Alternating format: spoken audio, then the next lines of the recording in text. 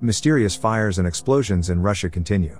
Now, a fire has engulfed a Russian army facility in the east of Moscow. The blaze burned for more than four hours inside garage units, emergency services told the Moskva City News Agency. Dramatic footage shared on the Readovka forum showed smoke billowing from the building. Russia's defense ministry has not commented on the incident. The blaze comes after the Zvezda engineering plant in St. Petersburg, which produces high speed diesel engines for the Russian military, caught fire. And while there is more and more talk about a new Russian attack through Belarus, Ukrainian officials say that it will most likely not happen. There is little imminent danger of a Russian invasion of Ukraine from Belarus, the director of Ukraine's military intelligence agency said on Friday, dismissing recent Russian maneuvers as either routine military activity or feints intended to confuse. These are all elements of disinformation campaigns, he said, aimed at convincing Ukraine to divert soldiers from the combat zone in the southeast. In a wide ranging interview on the state of the war in Ukraine, the military intelligence chief, Kirilo Budanov, also spoke about Russian efforts to encourage Iran to continue to supply its forces with drones and missiles, as well as Moscow's apparently senseless obsession with conquering the city of Bakhmut, which has little strategic value. For weeks, Russia has bolstered its military bases in Belarus with conscripts and moved troops by rail to and fro, raising concerns that it might be planning a second invasion of Ukraine from the north. While the threat of a renewed Russian invasion from Ukraine's northern border with Belarus is not imminent, Mr. Budanov said, it still cannot be ruled out. It would be wrong to discount this possibility, he added, but also wrong to say we have any data confirming it exists.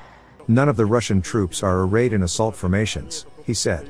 Training camps for Russian soldiers are filled with newly mobilized civilians who, after completing training, are sent to fight in the Donbas region in eastern Ukraine.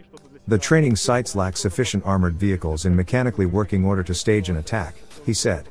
Russia's military has tried to raise alarms in the Ukrainian army by loading soldiers on trains that chug toward Belarus's border with Ukraine, he said. The Soviet Union employed similar tactics during World War II, he said, sending soldiers on useless train rides to imitate attacks or retreats. In Belarus, one train loaded with Russian soldiers stopped recently for half a day near Ukraine's border, then returned with all the soldiers aboard, Mr. Budanov said, calling it a carousel. In the southeast in the Donbas region, Mr. Budanov said, the political ambitions of the leader of a Russian mercenary army called the Wagner Group have partly dictated strategy on the Russian side. The group's founder, Yevgeny Prigozhin, a Kremlin insider, has made a crusade of capturing the city of Bakhmut to upstage rival commanders in the Russian regular army, Mr. Budanov said. Wagner coordinates with the army but is the primary force in the Bakhmut front. A Russian general appointed in September as commander of Russian forces in Ukraine, Sergei Surovikin, has aligned with Mr. Prigozhin in a rivalry with the Russian Minister of Defense, Sergei K. Shoigu, Mr. Budanov said. There is only an ideological and media question here, he said of the fierce assault on Bakhmut. That is a reason Wagner units are trying so fanatically to capture this town. They need to show they are a force, and they can do what the Russian army could not. We see that clearly and understand. While capturing Bakhmut is not considered strategically important, it would improve Russia's position in the east by opening roads to other Donbas cities still under Ukrainian control, he said.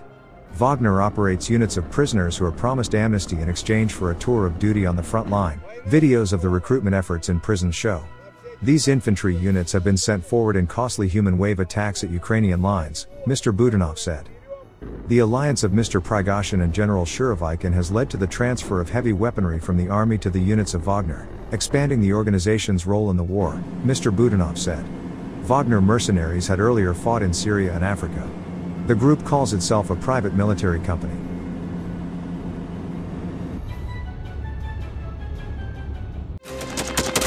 Thanks for watching, and don't forget to subscribe. Also, if you want to support Warthog Defense, please become our member and get early access to new videos, exclusive members-only videos, and become administrator in comment section. The membership link is in the description. every day. We had a guy last week at six rescues in six days. You know, he's doing the job every day.